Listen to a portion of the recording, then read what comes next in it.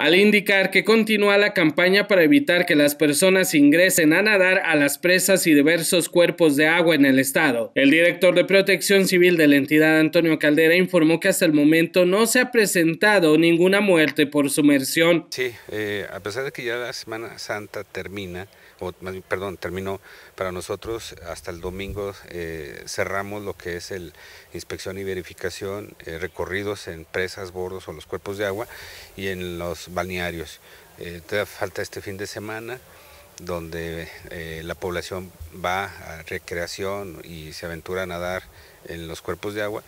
Y, bueno, comentarle que hasta el momento no, tenemos, o no tuvimos ningún incidente, ninguna persona que, que haya sufrido una asfixia por sumersión, ningún incidente en las albercas. Eh, fue una difusión, una campaña de prevención y que la población pues bueno lo aceptó. El funcionario estatal insistió en que los ciudadanos deben de optar por la cultura de prevención y no ingresar a los cuerpos de agua y presas, pues son sitios que no son aptos para nadar con seguridad. Sí, es mejor la prevención que lamentarse.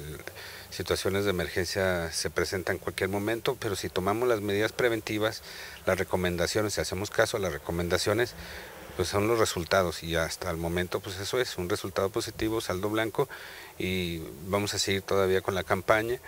Sabemos de que eh, fuera de, de, vacaciones también hay incidentes y seguimos pues todo el año con la campaña de, de los cuerpos de agua. Con imágenes de Fernando Ochoa para Canal 15, Alfredo Jiménez.